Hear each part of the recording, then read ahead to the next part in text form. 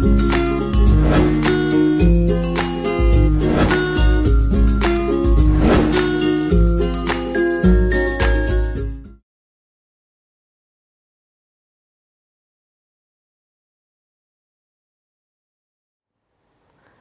I am Satish Gupta working as a Java trainer in Naresh Technologies. Welcome to Java 8.0 video sessions. And in the last videos, we have seen what is lambda expression and functional interface. As I said, uh, lambda expression is a implementation of functional interface method or single method uh, interface. Okay. Now, we will try to see how to write these lambda expressions uh, using functional interfaces, right. As I said, the advantage of lambda expressions is I said it is anonymous function or it is function object which can be passed from one function to another function. Okay, generally a method receive the input as data, but when it comes to a Java 8, one method can receive the input as another method or a function. It may say method receive a function to perform certain operations or a function might receive the data to perform certain operations, right. So, we will try to see how to write this lambda expression as I said in the previous videos like you can write a lambda expression with parameters and you can write a lambda expression without parameters, you can write a lambda expression with return type and you can write a lambda expression without return type. But whenever you write a lambda expression that lambda expression should match with a method exist in uh, functional interface okay because you are trying to uh, that is what I said a lambda expression is an implementation of functional interface and whenever you write a lambda expression I should see that that method or that uh, expression should match with the signature of the method exist in functional interface. Suppose if you want to write a lambda expression without parameters then I should write a an interface that functional interface should contain a method without parameters. If you want to write a lambda expression with parameters then uh, functional interface should contain the method with parameters. If you want to write a lambda expression with return type then functional interface should contain a method with return type. Now, this is how checking is done right. Okay. So, what I am doing is now uh, you have different types of functional interfaces. You have a predefined functional interfaces and you have user defined functional interfaces. Okay, first we will talk about how can you develop uh, user defined functional interfaces and how can you implement that as a lambda expression right. Okay. So, I am trying to write one functional interface okay.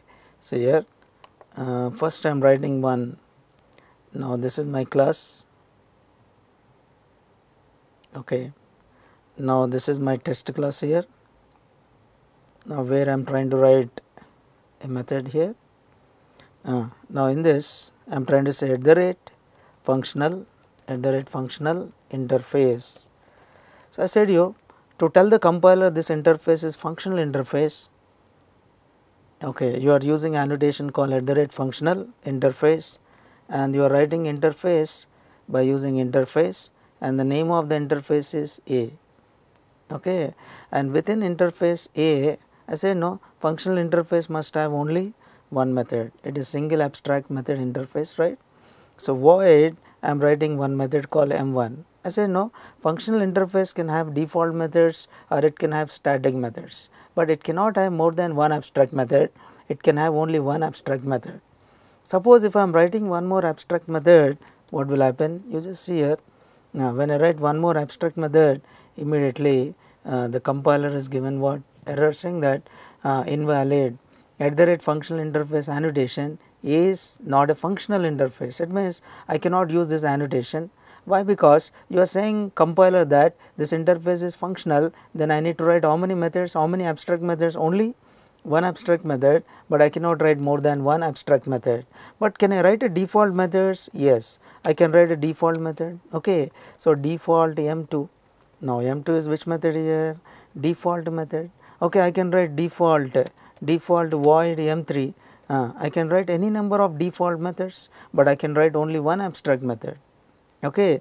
Uh, can I write a static method? Now I am saying static void m4 okay. Now this is which method here? Static method. Now is it functional interface contain default and static methods? Yes, but it can have only one abstract method okay.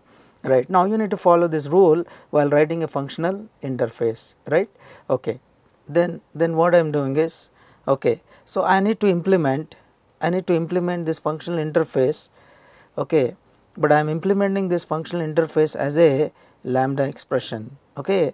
So, what I am doing is I am trying to write a a is an interface and a1 is a reference variable Anyway, lambda is an anonymous function, but I said you it is an implementation of functional interface. Now, I am saying A A1, A is an interface name and A1 is a reference variable name and equal to I am just writing I said you know lambda expression to, should match with lambda expression should match with the method signature available in what interface. Okay. So, interface A is having m1 method and that method is without parameters. So, lambda is anonymous. So, I am writing this function without any name and uh, it is without any parameters. And you write the body of the lambda expression by separating with hyphen and what greater than. Okay? And then you write the operation performed by lambda function. I am saying system dot out dot print println is just print a simple message called hello okay now this is the implementation of functional interface and I call this method by saying a1 dot m1 a1 dot m1 right. When I say a1 dot m1 a1 is a reference variable of a. Now compiler look for m1 method in what a okay. So, is it m1 method is there in a yes then compiler will not give any error but when you run this now in order to execute a method is it required implementation or not? Yes, but that implementation is of type lambda that implementation is of type what lambda. Now what I am doing is I just run this. Now when I run this now you can see the message called hello.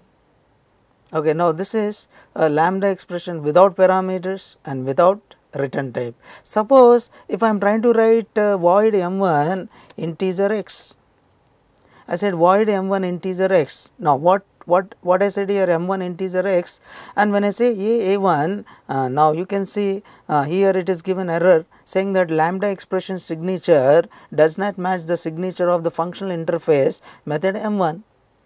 It means whenever you write a lambda expression it is necessary to write the lambda expression with the same signature of the method exist in what? Functional interface. If not compiler gives what? Error. Okay? So thanks for watching this video. We'll try to see more on lambda expressions in the next video. Thanks